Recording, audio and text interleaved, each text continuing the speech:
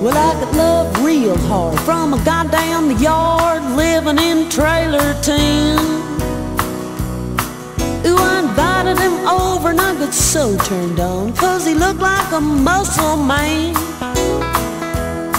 He had them great big hands with a chain on his wrist, his hair slicked back in wines.